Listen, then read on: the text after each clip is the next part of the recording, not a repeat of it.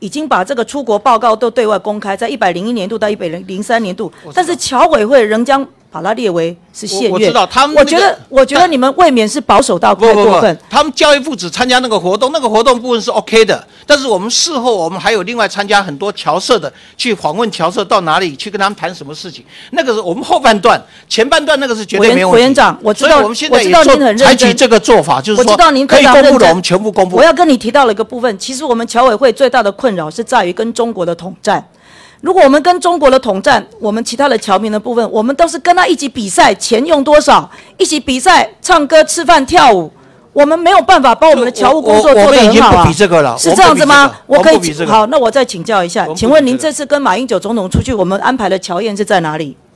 呃，在美国对不对对，在美国嘛还？有在在那个访问的高地方那也有。哦，对，对不起，我们邦交国除外对，邦交国除外，邦交国除外，在美国的地方是在哪里？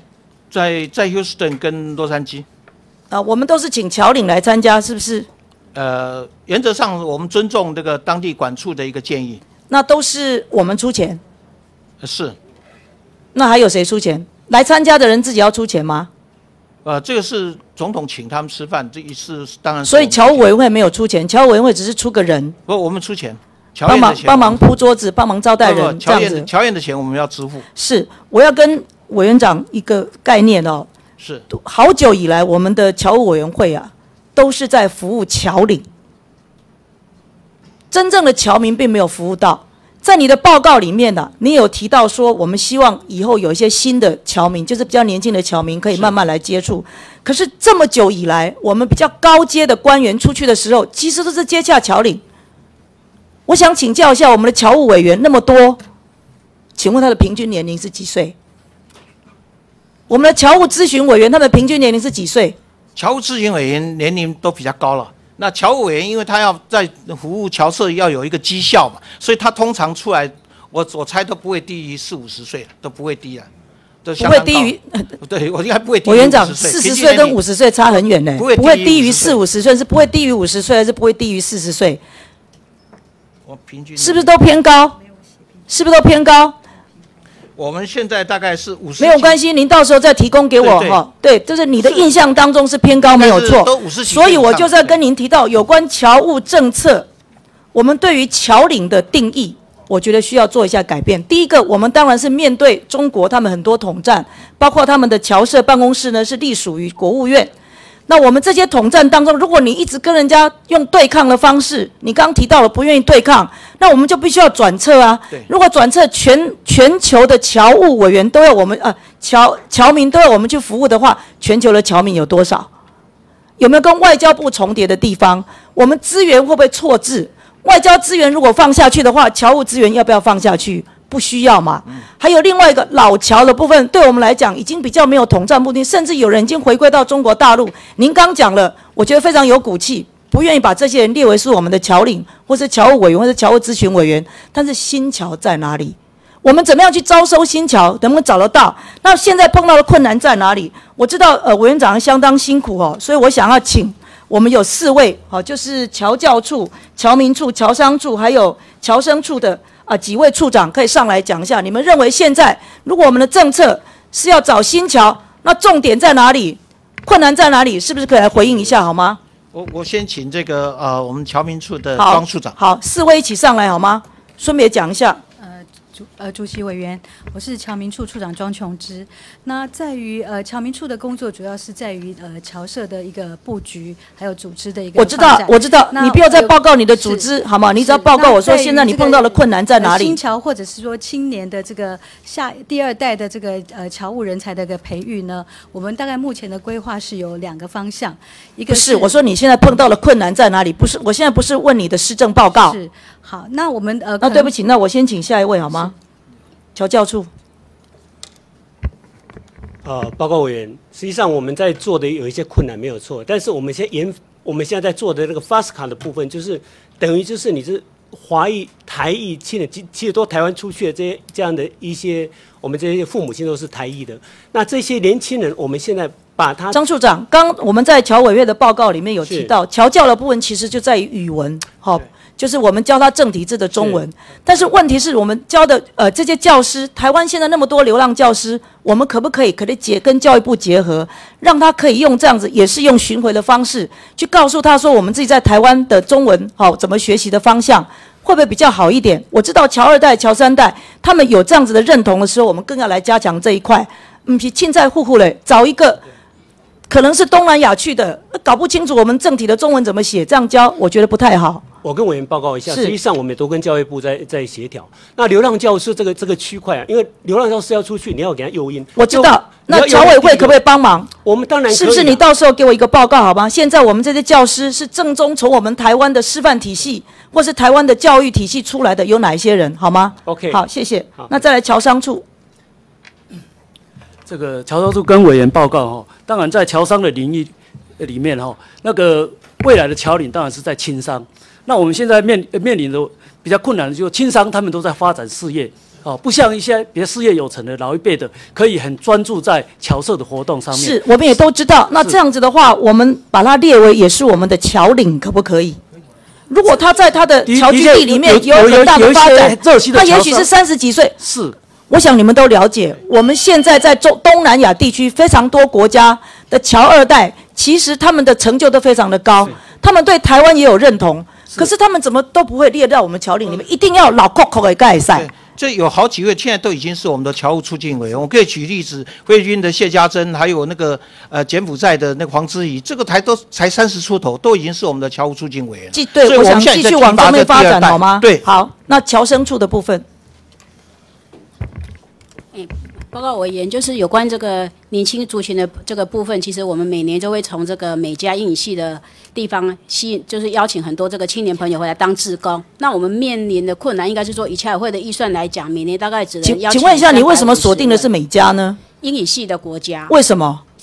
因为他们回来的大部分这个参加这个青年活动啊，这是比较可能是移早期就是移移小时候就移到海外去的。不是我的意思是说，为什么你们是锁定美加，而不是锁定东南因为因为？我们跟教育教育部合作，它是要做偏乡的英语教学，所以这个部分是因为教育部有列定一个目标那边目在那边。那东南亚地区呢？呃东南亚地区，我们用观摩团的方式来来办理。每是，我想侨生的部分还是一样哦。第一个，我觉得锁定美加，当然你刚有提到说到我们的偏乡里面做英语教学，那这是可以有一，就是说有两个功能了哈。那如果是你完全以美加侨生为，美加一般以我们来讲，他们都是比较呃有钱。哈，我们还要补助他这个机票钱，我是觉得这不对。但是相对而言呢、我要请教一下委员长，我们的侨务政策有没有可能变成是我们是以东南亚或者南亚国家为主的一个南向政策？对于我们来讲，经贸交流、文化交流，或者是我们的同理性，或者是我们的协同等等这些，难道你不认为说我们在东南亚这一块，台湾的侨民现在的数目是已经越来越高了吗？我我们可不可以在这个地方做加强？对我，我跟委员报告，我们这现在侨委会的工作对东南亚这一部分，其实占了一半以上。这我是希望扩大成南亚我我们都占了一大一大半以上，我想绝对会遵照，。那我也建议一下，不要。只有请客吃饭跳舞。刚刚那个呃林长佐哈对委员哈，他的闪灵乐团。其实能够吸引更多的年轻人。那台湾有非常优秀的这些团体，包括五月天，包括说张惠妹女士等等，这些都是我们台湾很宝贵的文化资产。不一定是只有传统的文化，如果能够多多扩展这样子的一个文化体育交流的活动的话，我想吸引我们的侨侨呃侨生，或者是在侨务政策上的发展会更蓬勃，好吗？是这是我们的目标。是，好，谢谢。好，谢谢。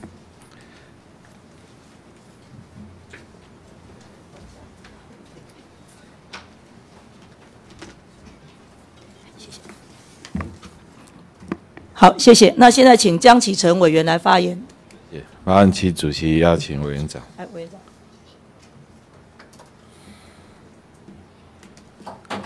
江委员好，委员长好哈。你们今年一月是不是有公布侨生政策白皮书嘛？是对不对？那请问一下，这里面最具体的内容是什么？然后什么、什么时候要开始落实？哦，我想我们把这个侨生工作的这个从揽才、育才、留才跟用才哈各方面做一个呃政策上的一个疏，所以主要是针对人才嘛。对那人才主要也是因应台湾的人口老化，还有少子化，对对不对？然后劳动力短缺的问题嘛，哈，这个方向是对的了哈。当然，我们也希望借助啊、呃我觉得不光是侨生啦，应该是说呃，怎么样对台湾的经济跟社会，甚至国力的发展有帮助的哈。是呃，都可以让他对台湾有所贡献，这是一个重点。那当然，侨生是一个来源啊。那重点是说，这些侨生，因为你既然是一个白皮书，代表你们有做很深入的研究是跟调查。这白皮书是谁写的？呃，是是我们你们委托外面写的，还是你们自己内部写的？我们内部写的。你们内部写的。对。那你们内部有做很深入的调查跟研究吗？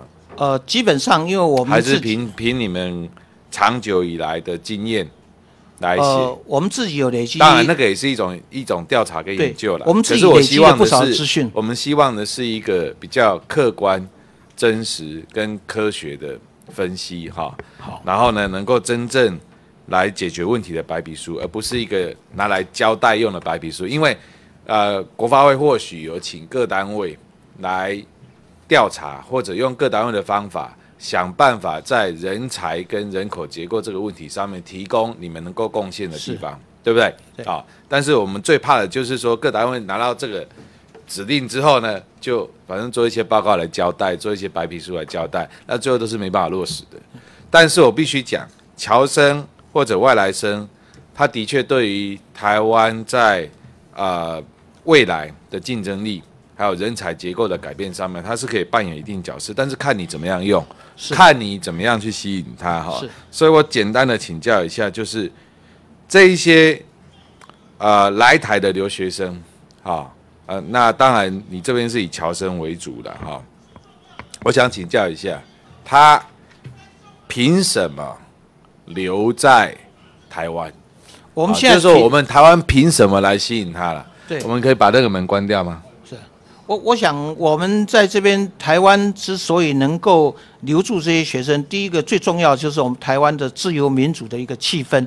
我想，而且对于这个未来，他对对于未来的一个期望，他认为在台湾经过台湾的训练啊，这是你们有调查过的吗？呃，我想我们这还是你们自己想的？没有，我们平常跟他们接触的这些年轻学生，他我们常常跟他们讲的是实话吗？呃，我想这个我我我这样讲好了，今天是我到美国留学，我在美国待了六七年，是我要决定留在美国工作的理由是什么？对不对？是。今天美国是一个人才大熔炉，我这个举这个国家啊，当然台湾不能跟美国来做相提并论，但是一个社会啊，它要吸引一个外来的人才来留在这个社会当中，它的吸引力是什么？是它的软实力是什么？就是 soft power 是什么啊？所以我刚刚才想请教说，当然你是请你去问他说啊，你为什么会想要？你想不想留在台湾来工作发展，或者或者台湾吸引你的理由是什么？这可以讲很多啦。对其实最终的一个关键点就是，我留在这个地方，我能不能喂饱我自己啊？对。还有一个，我如果到其他地方，是不是更好啊？对。这是很现实的东西嘛。我不会因为说台湾的美食很好，所以我留在这里。我觉得不太可能。当然，还有一种可能，就是因为我的配偶是在台湾，对还有发展机会。所以因为你的你的亲属关系，你留在这里，其他大部分都是很现实的考量啦。对发展机会跟他对不对我的发展机会什么？今天如果说我去上海的机会比你台北好，我就去上海的，是对不对？是除非上海是一个现在，比如说有非常恐怖啊，或者是极端的什么政权之类的，哦，我不去嘛。那你这个国际大都市的地方，大家是在比较这个东西。对，所以委员长，你们这个东西必须很切实的，不能太一厢情愿。好的，啊，因为我看到你们写出来的有一些理由，我会觉得说，如果我是留学生来台湾留学，这不是我留在这里发展的理由。我今天留在这边发展，而且这些通常都是白领嘛，对不对？我今天来在台湾念大学、念研究所，我留下来，我一定是白领啊。那白领阶级，我全世界都可以去啊。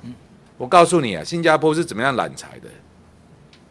新加坡，我曾经在十年前就访问过他们的人力部的长官，啊，那时候民党政府曾经委托过我做过一个研究，他们告诉我，他们的一个主管告诉我，很简单，我们新加坡啊，新加坡的政府做什么事 We run the country, they run the company。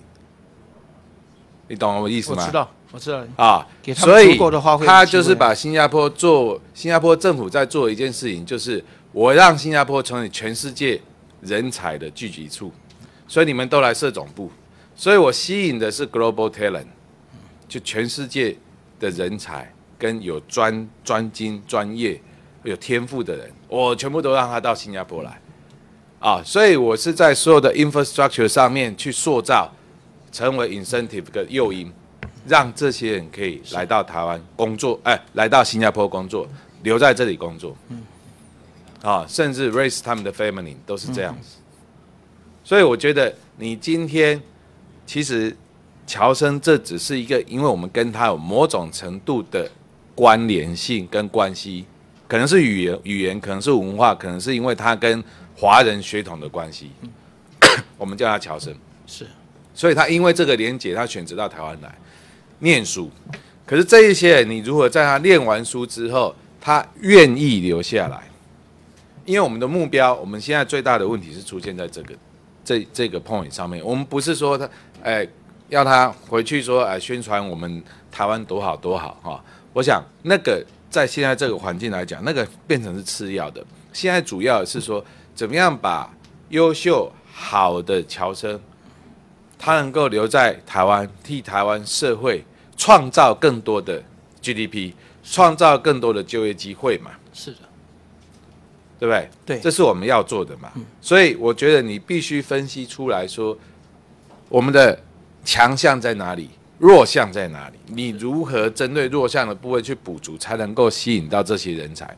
可是，在你的白皮书里面，当然我是没有看到啦，啊、呃，我没有看到那个白皮书啦，所以我也不知道里面有没有针对这些事情去一一的做很好的检讨，然后针对我们的弱项的部分，能够提出你能够给他的一个补足诱因。否则的话，他最后的考虑就是很简单：我拿到了台湾的学历，我拿到了台大的学历、台青教的学历，我最后我就是 job market 上面哪里给我比较好的 offer，我去哪里啊？就这么简单嘛。是，我不用太多的思考啊，我也不用去思考我是不是华人的问题啊，我不用思考这个问题啊。甚至今天连台湾的学生在全世界念书，在台湾念书的学生，他最后找工作，他也是这样思考啊，对不对？我台大毕业，如果上海给我好的配，我当然去上海啊，是，不是吗？是如果那里有更好的发展前景，我当然去那里呀、这是一个地球村嘛。哦，所以我说乔生白皮书，这只是台湾在揽才上面的一个很小的视窗而已。是的，是的啊、所以委员长，这个当然你大概在两个月、两个多月你就要交接了啊、但是我们也相信未来的政府他也必须面对这个问题，整个台湾的一个人口问题了啊、所以我在去年的时候，我也曾经提，呃，之前啊，我就针对你们说，在审查预算的时候，我就关心过关于说你们那个评评点配额，你还记得是吗？评点配额，对，啊，那时候啊你也答应说从两千提到到两千五啊，然后降低门槛、松绑是松绑规范这件事情有没有？后来有没有做？这个现在那个两千五的配额，这个限额已经取消了，所以现在无限制。啊，那降低门槛这个部分，我们已经跟那个劳动部跟国发会都已经取得共识，而且已经同意了。但是就是因为劳动部最后跟外外籍白领这绑在一起，没办法做公布，所以那个部分现在是缺临门一脚。那其他的部分我们都做到。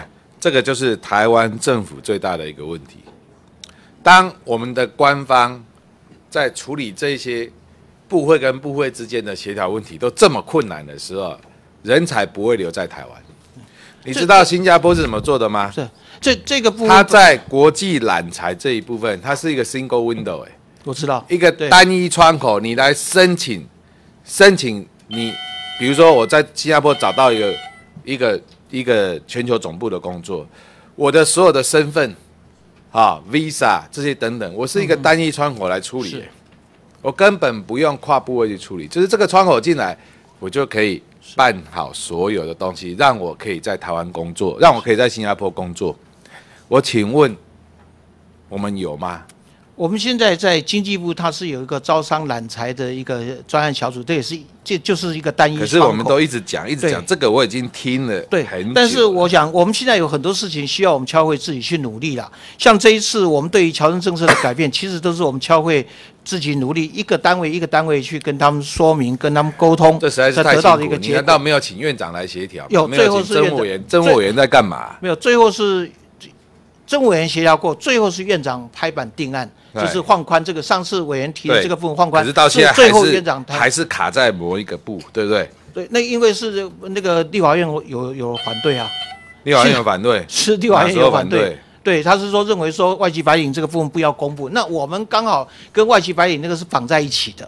那我现在那为什么不能脱钩处理？对，我已经跟劳动部劳动部讲说，我们那个部分其实你们可以先试行试办。对我我已经跟劳动部讲说，那个部分其实是没有争议的，对对所以这个部分劳动部也愿意说把它做脱钩当然了，处理。在在你离开这个位之前，如果你能够把它推动，是最好的。是啊，好，接下来我要请教一下，那你刚好提到说侨务两岸之间侨务没有休兵过哈、这个我也同意哈、那但是我只想请教一下，就是说对岸的这一种在文化上面的攻势啊，我相信它是不会停的，连对岸都知道怎么样用软实力来吸引，对来来来圈住这一些呃在海外的这些华人。是啊，那就更不用谈哈、台湾在这方面我们应该要做的事情啊，自然而然是就会就会变得压力非常的大了哈、我也可以体认啊。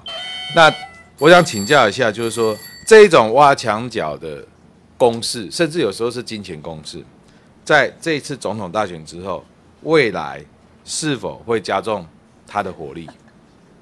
你觉得？我我觉得他你你不是常常都在跑海外吗？我觉得他不是说从这一次大选，他最近两年来啊，嗯他对于这个实质上的服务的攻势啊，已经非常强。我刚刚讲了八大会侨措施、“一带一路” 这些工作，其实他已经慢慢扎根到这个好侨社的基层，所以他的力度已经加大。所以这个力度一直在加大当中。但是你也提到你在推所谓的加盟，好，对侨教中心的加盟对，这个概念当然很好，用类似 Seven Eleven 的加盟方式啊，去开国际上开你的侨教中心的加盟店。但是这个未来你沃林之后还会继续推吗？我我想这些都是我们长久的盟友了，因因为你今天才开，你你等于今年才开始做嘛，对不对？你今年才开始在做嘛。你刚刚说你已经去谈了二十三处对啊，谈好了 M O U 签了没对签大部分签了，？M O U 签了，M O U 签了就代表要开始推动了。对，那这实这一些加盟店，我们给他什么样子的赞助？呃，我们主要是赋予他协助推动侨务工作的一个。啊他怎么做？那像譬如说还是说只我们只是去摆摆文宣？如果只是摆摆文宣，那就算了啦。没有，有一些有时候像譬如说我们要报名啊时间到了，会都都透过他们，都可以透过他们。像我们这有一些那个观摩团学生啊，我还是觉得啊透过落实是啊，落实绩效最重要。好，的，好不好？好的，好。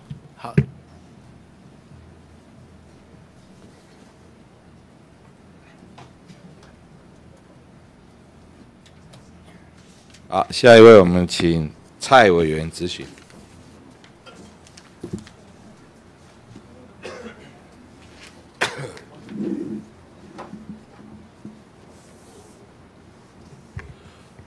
呃，主席好哈，还有我们所有的侨委会的官员，大家早安，大家好。能不能邀请我们陈世奎陈委员长？委员长备询。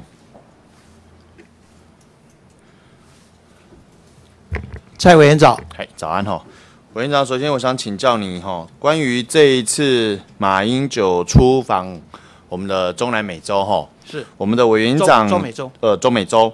委员长，我们侨委会有没有派员随行？我我去啊。呃，全全部就你一位而已嘛？那我还有一位科长跟着，就是我们的中南美科的科长，对，你们有一位是哪一位？呃，苏一个苏科长，所以就是在我们的这个是侨教处，是不是？在侨民处，哦，侨民处哈，就是侨侨民处的科长跟您两位，对，全部只有这两位参加而已。OK，好，这第一个。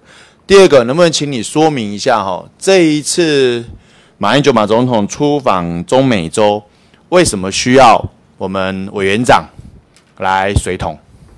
因为他这个主要有两个两个工作，一个就是我们负责侨宴，嗯那第二个是负责跟侨胞的侨团的联系。好那这两部分是我们的 OK，那委员长，你说你负责侨宴跟侨团的联系嘛？哈，那我想说哈，他这一次出发的整个的行程里面有瓜地马拉、贝里斯嘛？对好，然后另外就是呃回程跟去程都过境美国嘛？哈，美国的洛杉矶以及 Houston。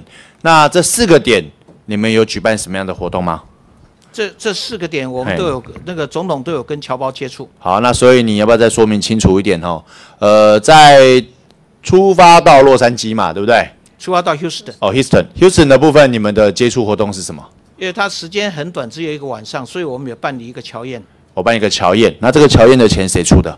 侨宴钱是侨委会出好，的，侨委会出的。好，那到中美洲的瓜地马拉的时候嘞，瓜地马拉因为它有停留两天，是所以他有跟侨胞接触的机会蛮多的。那也有办理一个侨宴，因为一个侨宴，对还是两场侨宴？一场一场侨宴，那你另外的侨胞接触是指什么样的侨胞接触？就当地的些侨社、我们的台商、我们的侨务侨务荣誉好，所以那瓜地马拉的那一场侨宴预算谁出的？也是我们出的也。是你们出的。好，那另外到贝里斯的那一场嘞，贝里斯他早上也有约了，他是一个早餐，也约嗯了一个我们一些当地的侨务荣誉职人员，我们的台商，所以就是一个早餐会就对了，是不是？早餐会那早餐会的费用也是由也是我们出。也是侨委会出的。好，那最后回程回到了洛杉矶的时候，对，那个行程是怎么样？那洛杉矶他大概应该是傍晚到，那第二天一大早就走了，所以那也是只有一个晚上时间可以跟侨界接触。所以他一个晚上的时间就是跟乔也是这样举办乔宴。对，好就是所以那这场乔宴的费用也是由乔会好，所以乔会等于负担了四场的乔宴，然后呃一场、两场、三场，三场乔宴，一场早餐会嘛，对对不对？那你们有没有算出这个预算多少钱了？呃，现在还不知道，因为这个为什么这个钱大部分都是我们以往的的惯例都是这样，等到他们全部弄完了以后，外交部结账以后再开一个分摊表给我们。所以我们现在还不知道多少钱。所以定的定的位定的桌数啊，一桌多少钱啊，或是当地有什么开销啦、那些钱全部是由外交部他统一支付完了以后，开一个分担表给我们。我们现在还不知道，因为我问了外交部，外交部说他到目前为止他也不知道他要花多少钱呢、因因为我们是他们的账单，可是你们总有每一餐乔宴的上限吧？有没有？我们我没有上限。我我按照经经验来讲了嗨。哈，经验来讲大概大概就是七八万美金，这个加起来大概一场七八万。美金。全部全部大概我全部加起来七八万美金，一场平均两万块美金就对了，两万到三万，差不多两。万到三万美金，大概是九十万左右，对，九十几万，那大概办几桌啊？三十桌，三十桌左右就对了。也就是说，我们每一场乔宴大概就是三十桌。那乔乔呃乔民总共来多少位？就是就是就差不多就是三十桌的啊对。那你现在人是怎么抠的、啊？啊，人是怎么找的？人是由各个呃那个我们的当地的管处来来邀请，就是你们的侨务委员去邀请的，还是怎么样不？是是当地管处，譬如说我们休斯顿办事处或是洛杉矶办事处他们邀请的。所以洛杉矶，那他去哪里找侨民？不是不用透过你们啊，他们自己找就好了。我们当地我们平常跟侨民都有接触对啊，所以他的他侨团透过你们的侨，就是你们的名单，然后去邀请他们来参加嘛，对不对？对。那你现在名单出完了没有？我这个现在在侨在在他们那边，我们还没有拿到。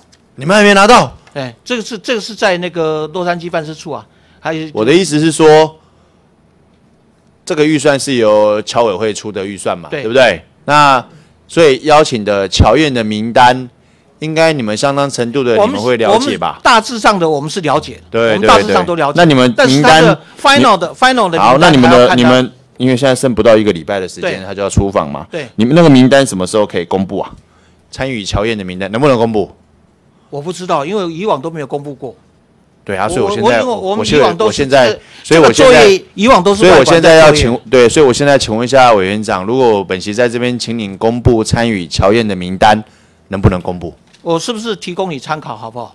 我提供委员参考。会后提因为因为供就对了。我我因为我现在还没有拿到，等到我拿到好或者结束完以后，我提供委员参考。希望在参宴前我就先拿到名单。参宴前，我那我要问外交部好，看能不能。所以那当然你要去问外交部啊 你们你可以跟外交部说，对啊这个钱是你们出的，怎么可能连来哦谁在他们也有分？担，他们也有分担。他们分担什么？你不是说乔宴费用你们出的，怎么又主要是我们出，但是有时候他们那个管员管券吃的那一部分，他们要负担啊。我说要把那几桌扣掉就对了，对对对对是不是？他们要哦你们算得很清楚哦。好，这是一个哈。第二个，我想请教一下我们的这个委员长哈，我们侨委员会的侨委会侨务委员的任期是多久？三年，三年嘛哈。你觉得三年任期合不合理啊？呃，我觉得差不多了，差不多了，差不多了，因为因为一般太短太短不不熟悉，太长也不好。啊，问题是我们现在一任总统的任期是几年？四年，嘛，那这样不就很奇怪了？好因为这个我侨务委员的任期啊，已经有行足几十年了，一直都我我的意思说，有没有可能请我们侨委会哦，这个任期的部分，侨委会组织法是哪一位单位哪个单位负责的？组组织法是你们的是中委规划处，还是？我说就你们侨会里面这，这个部分是荣誉值的部分是归那个我们侨民处在负责。有没有考虑未来哈改成两年或四年啊？跟哦其实总统的任期一致啊？那靠后啊？我我们可以来考虑一下，我们现在已已经以前的任期都蛮乱因为我们最近马总在整理当中统去年聘了九十七个新的侨务委员嘛，对不对？任期到什么时候？二零一八年啊，是二零三年，就是对吧？二零一八嘛。啊，如果新接的委员长或者是总统对这个名单不满意，可以把它换掉吗？刚刚把拍线挖嘛，对吧我？想他一任结束了，对呀、所以这就产生问题了嘛，对不对？就是说，新的总统如果对这个名单有问题的话，他必须要盖瓜承受前任总统所列的这样的一个侨务委员的名单嘛，吼。所以我这边建议我们的侨委员会啊，就你们的侨务委员组织法的遴选的办法里面啊，你们应该把它考虑改成两年两年一任，或者是四年一任。好，两年或四年一任，以符合目前我们所有政府官员呐、几乎现在都是这样的一个任期，有任期制的部分哈。那我想说，就这个部分来讲，呃，委员长你回去有要研究一下，应该没问题吧？好，我们我们来检讨研究一下。这没没没问题哦，因为我刚才讲说，这个马英九在去年他不聘，等于就接近一年的时间是空窗嘛。可是他聘了之后，却有两年的时间是是不同的总统。那未来如果是委员长你续任就算了，如果不是你续任委员长的话，也会产生这样的一个问题哈。好，那最后另外一个问题哈，我们现在是不是有一个叫做华侨会馆？是的，华侨会馆在哪里？在北投北投嘛哈，是。谁在经营？现在是我们是 OT 出去了，就是已经外包了，好，我问你，华侨会馆是委外经营。饭店还是什么东西？它是当时定义它是一个训练中心，训练中心嘛是也是一个侨胞回来住的一个招待所。好，那我现在问你吼，训练中心你们去年一整年使用状况，你们觉得怎么样？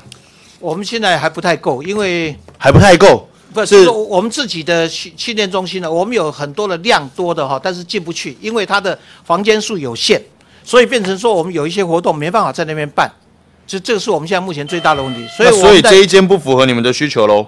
呃，它它的住宿空间还是不太它几个房间啊？五五十七个房间，五十七个房间哦。对。那礼堂嘞？礼堂教室使用你觉得怎么样？礼堂因为它非常大，那个那个使用上可能还反而比较少用。啊，教室嘞？教室他现在用的用的那个还蛮多的，教室是吗还蛮多的。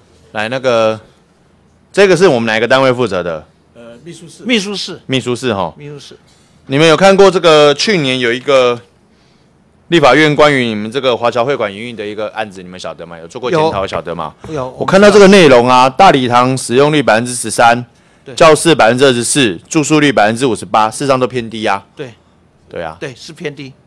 所以你们觉得我我们是要应该检讨。有办法改进吗？很难，因为这个这个去年就要求你们检讨，检讨了一年之后因，为现在经营是在那个委委外委外经营，所以我们要跟那个委外经营那个承包商在在。你们有没有考虑干脆把它哈交给观光局或交给谁去去去把整个遗产移拨出去算了？因为我的意思就问说，委员长，您真的觉得华侨会馆对侨会来讲有一个存在的必要价值吗？它它是一个以前以前当然是为了要招待归国华侨，给他住的一个地方，这是以前嘛精。神意义啊。对啦，可是现在还有需要这个意义吗？他回来台湾其实有很多地方都可以住啊，饭店啊，而且按照我记得观光发展条例现在新的规定，如果你提供不特定人住宿的话，一定都要纳入旅馆业嘛。你这件有没有纳入旅馆业啊？已呃已经取得旅馆业的那个有取得旅馆业了嘛，对不对？那你是不是干脆就把它看是移拨给哪个单位去管理好了？你们教会就不要去管这个东西啊。那未来的话，你们所有相关的活动，你也不见得就是要在这里办啊，你到其他地方办也可以啊。否则你留这个资产，你又没办法好好的管理它，使用率又偏低，你就每年都被检讨。我们其实现在内部没什么太大其实意义啊也也内部自己其实也在讨论，也在检讨。对啊，所以我的检讨转给其他单位或者资产活化或者怎么样方法都可以啊。你现在委给龙邦做，看起来效果也不是很好啊。我我他现在一年给你们说，你们给他租金多少钱？一年是现在是一千七百多万，一一年一千七百多万一年一千七百多万权利，金，哎，对那就权利金，哎，还要不要再租金？没有了，这是全部一千七百多万嘛？1700多万啊，面积多大？我们现在比较大的一个问题是我们那有一层楼现在还是我们的档案库，我们的档案库锁在那边。哎，对，所以我们要要把档案库迁走以后，假如说真的要给别的地方，或是要给别的单位的话，我们档案库一定要先找到。所以我们现在也在跟国有财产局在谈这一块。啊，他说真的的全部处理完了以后，我们不排除说是不是要交还国有财产局，或是那你什么时候可以确定这件事情？呃，我们现在国有财产局在帮我们找档案库的库房，啊什么时候可以完成？差不多。这个我我们在问国有财产局。你你能不能一个月内给我们这个案子的最新的进度报告？好的可以吗？好不好？好的因为我一直觉得说，就你们来讲，你们事实上就像刚刚委员长讲的，把这个东西把它变成非你们必要使用，交给国有财产所做未来的活化使用，比你们现在继续留着它，会更有它的意义跟效果。第二个，我认为华侨会馆本身过去它必须要代表的时代意义，在现在来讲，我觉得必须要做一个新的转型了哈。所以刚刚委员长你所讲的哈，希望你一个月内。你们跟国有财产所，其实首先第一个档案库的位置有个初步的结果来告诉我，好，然后之后再你们第二个再列出你们未来的整个搬迁啊、移拨的一个进度报告出来，好呃，谢谢我们。的构想，我们的构想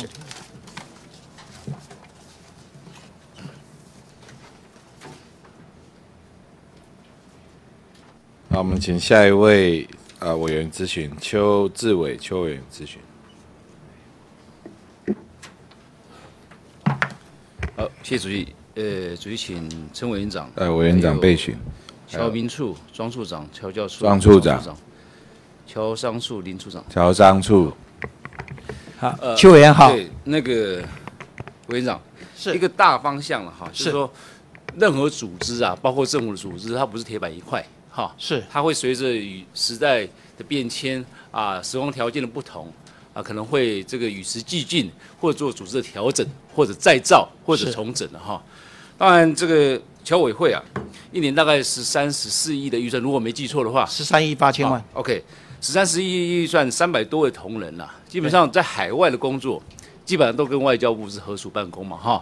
当然、哦，没有，我们我们有侨务中心。对了，你们侨教中心，但是有一些你们侨委会驻外人员是跟啊、外管是合署办公了。是的哈，所以很多的业务大概跟外交部有高度的重叠了哈，很多都是要跟外交部协力去完成，包括对这个啊呃这个台侨的服务啦、台商的服务啦哈，我想都跟外交部有高度的相关跟重叠性。所以每次在呃组改的时候，或者在组织调整的时候，大家就思考思考这个大方向哈啊，一个十三亿预算的一个侨委会，如果从这个啊它的组织的功能、工作效率的提升哈啊服务品质的这个优化，有没有可能大方向在未来一段时间去思考、去评估啊，把侨委会啊提升到外交部里面一个阶段，我我跟一个一个一个啊一个单位。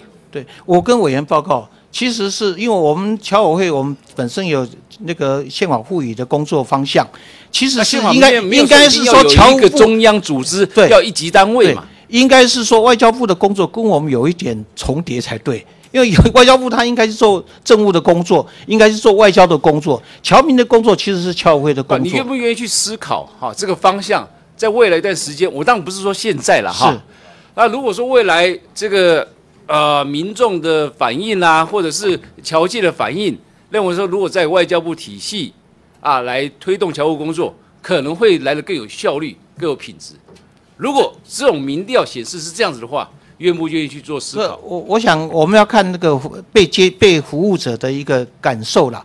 我我我有百分之百的信心，你可以去问全球的台商，到底是在侨委会服务这边的服务态度好，还是说他们愿意转到外交部做服务？我觉得这可以问台商啊，有各位委员常常在接啊你们可以做一些。调查嘛？对，我觉得这个部分我们自如果己有有做过类似的调查吗？没有，我想这个部分我们也不便做这个调这样的调查了。不，当然当然有必要啊。综合规划处，综合规划处也应该去做这方面。